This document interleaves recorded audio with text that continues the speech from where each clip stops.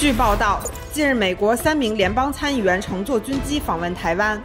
外交部发言人汪文斌在七号举行的例行记者会上回应称，中方对此坚决反对，已向美方提出严正交涉。美国会有关议员访问台湾并会见台湾地区领导人，严重违反一个中国原则和中美三个联合公报的规定，中方对此坚决反对，已向美方提出严正交涉。我们敦促美方。把坚持奉行一个中国政策的表态落到实处，切实恪守一个中国原则和中美三个联合公报的规定，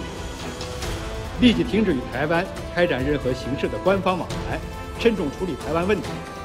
不向台独分裂势力发出任何错误信号，以免给中美关系和台海和平稳定造成进一步的严重损害。